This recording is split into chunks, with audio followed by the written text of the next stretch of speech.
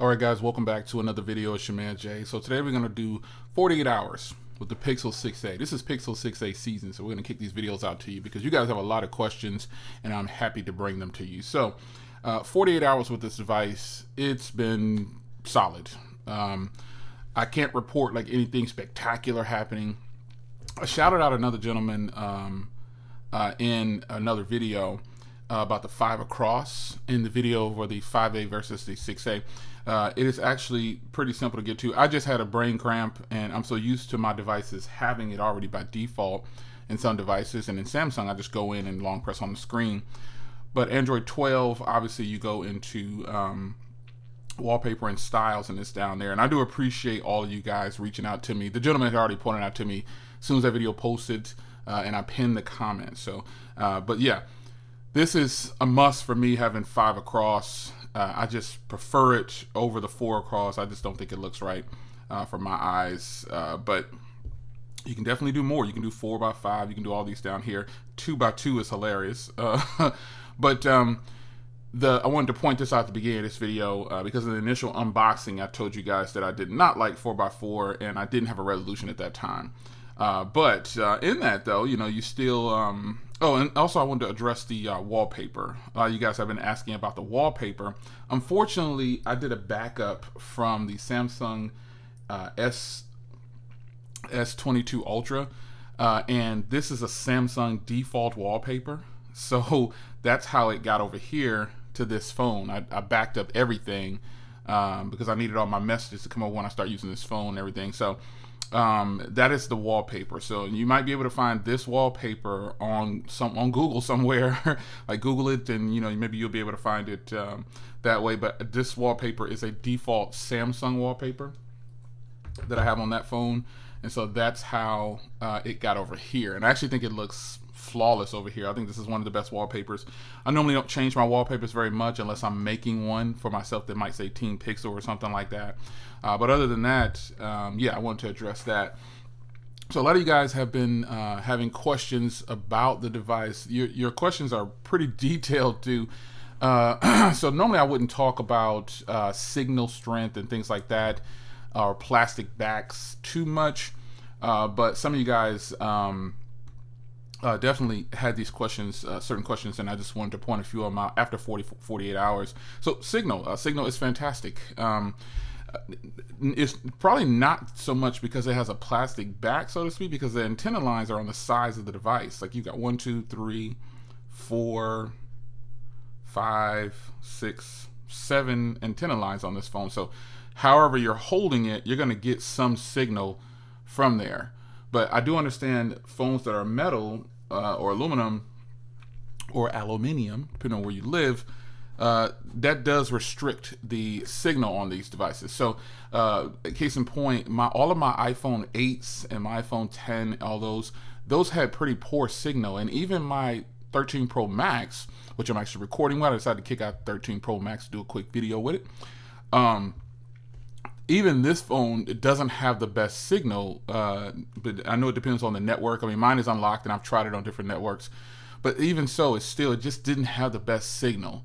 Uh, and, and I, am sure it has something to do with the build quality where the antennas struggle to get past. So having a plastic body as some of you guys are starting to point out now uh, you guys are some, when i say you guys you know who you are. It's kind of funny how we rotate through this this tech world on what's important and what's not, or what becomes important, or what they, what companies should be doing in 2022.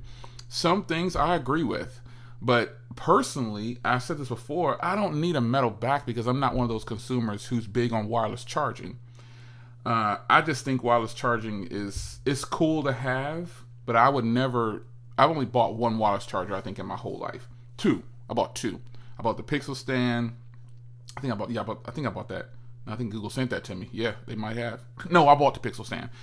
Um, and then I, the OnePlus wireless. And, you know, but wireless charging to me just isn't there yet because it charges so slow. So unless you're going to get a really fast charger like the OnePlus stand, you're not going to get, to me, the benefits of wireless charging.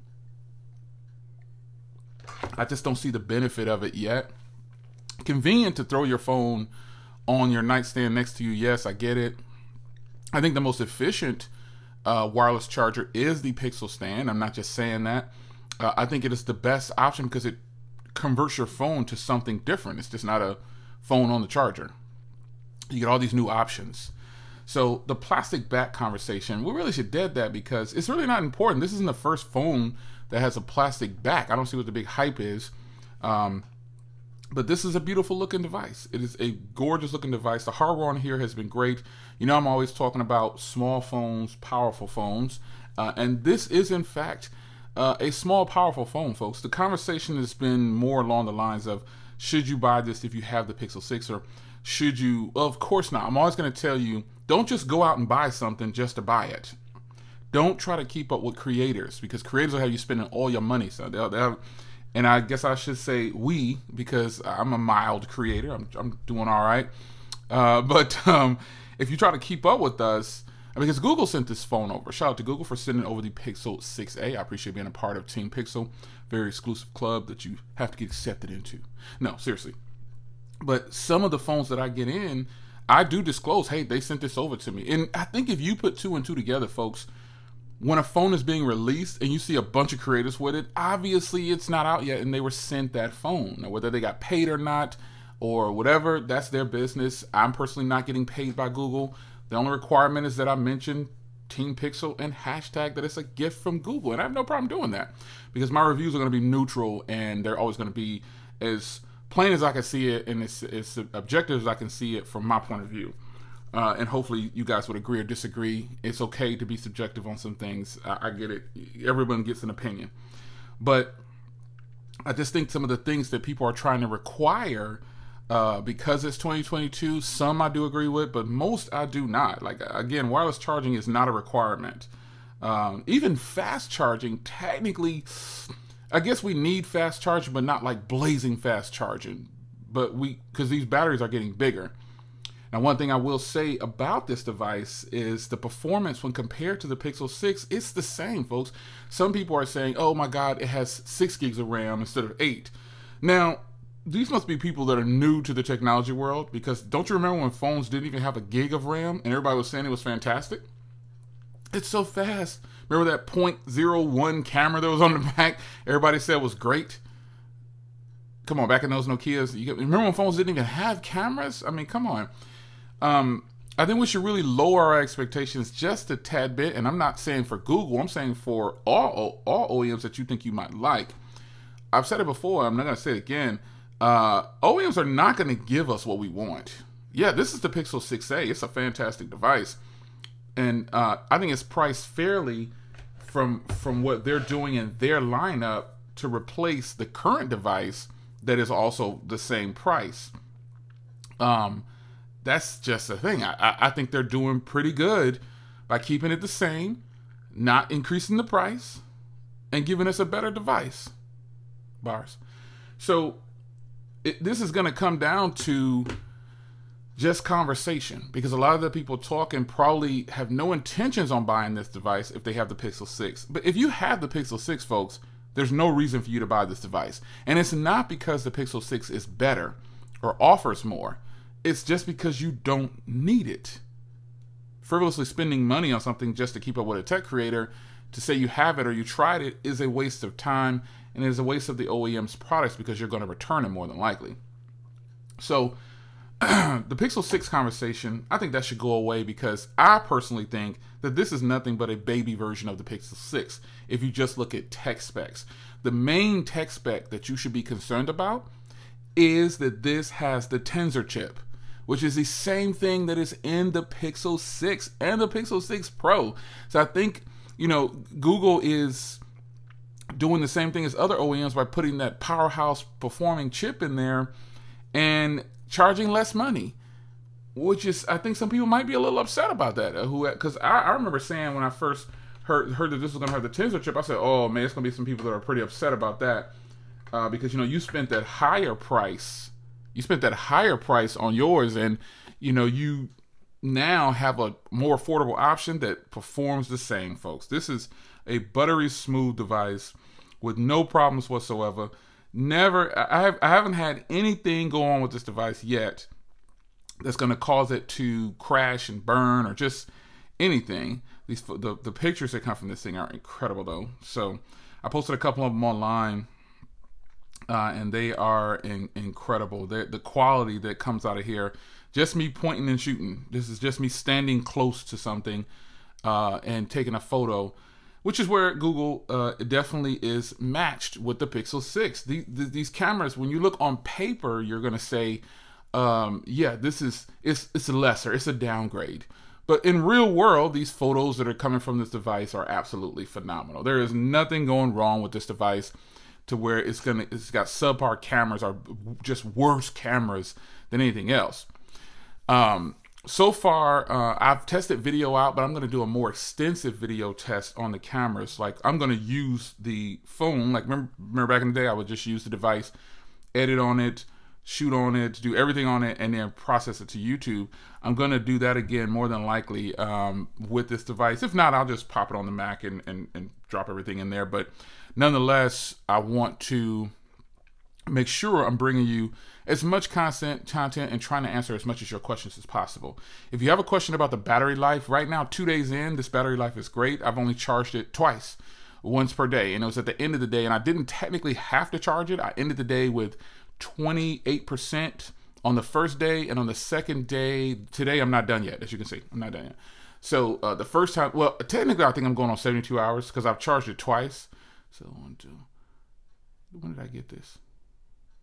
I charged it on Friday and I charged it on Saturday. Okay, yeah, yeah. Today's Sunday. Yeah. So I charged it twice. So I charged it once. And the second day, I think I didn't have to charge it and it lasted i had like 40% left or something like that because your battery life is going to determine on how you're using your device so i don't foresee this phone having poor battery at all i think it's going to have great battery it might not match the pixel 5a's battery uh, but it's going to have some pretty decent uh, battery on here i think it's going to do very well for what it is so uh, you don't have to worry about that 4410 basically 4400 uh, milliamp hour battery. I think it's I think it's more than enough for the people that are going to buy this phone. And I love the beautiful display on here. It's just a nice look. It's got a flat display too, and I think that's big to some people. I think it's nice too. But the problem with flat displays, sometimes when these OEMs make screen protectors, glass screen protectors, any screen protectors, they don't do well with. At least on my Pixel Six, it was trash. It was horrible every screen protector I tried just wasn't really that good, and only a few of them worked. And then matte screen protectors were just a huge bust altogether. They didn't work at all. So, 48 hours later, you know, battery is good. Obviously, performance is good. No problems with performance. Uh, cameras are good. Uh, I don't know what else you would. Uh, signal strength is good. Uh, yeah, it's good. Um, they obviously they pair up easy with my Pixel Buds. Um, having the having I have several different versions of the Pixel Buds, so uh, it's just a matter of you know which one I want to use, and I'm using the Pixel Bud A's with this one because you actually get these free. So if you add both of these to your cart when you check out with the pre-order, now I'm recording this while the phone is not available for sale, so be mindful of that while you're watching this video and the date that you're watching this video. I'm recording this on July 24th. The phone just hit pre-order, and a lot of us got the device early from Google. So again, we appreciate Google sending them out. But um, yeah, depending on you know when you buy, if you pre-order, I just should say you get these at no cost. So ultimately, let's break that price down. So 450 just to have the device. If there's no free buds, right? I think that's a great deal.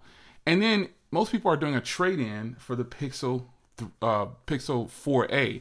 I have a Pixel 4a. Obviously, I'm not going to give it up. I think it's a really great device, and it's even it's a little bit smaller than this one with a 5.8 inch display, which is actually still just it's a fantastic phone. It doesn't have a ultra wide camera and it doesn't have 5G, but that's okay because I'm getting stellar battery on there, and I'm still taking good video and great, fantastic photos. I mean, it's pretty much got the same camera system minus the ultra wide camera. So breaking down this price here 450 right? Just the phone. If you put these in the cart too you're going to get basically $100 off the total price which takes it to 450 and then if you decide to do a trade-in you are going to get this device. If you give up a, a 4a and several other devices they're giving like um, two, 369 or 269 292 i've seen these crazy prices basically you can get this phone for this everything right here for $149 folks You cannot beat this. This is incredible. That's incredible value to a consumer. So if you have any other questions, this is just a 48 hour discussion with you guys, man. I wanted to put out a video every day if I can for you on this device. Uh, but next video you're going to see is uh, probably versus the uh, phone that everybody's clowning. I won't say what it is. Just stay tuned for it. But any questions you have, pop them down below and I'll be sure to get back to you on them. I'll try to answer your question right away if I can. Uh, but if I cannot, just um, wait for me because I get a lot of comments. It's your man Jay. Quick discussion. 48 hours, 48 hours later. Hope you enjoyed. And remember to leave that comment. I love to reply.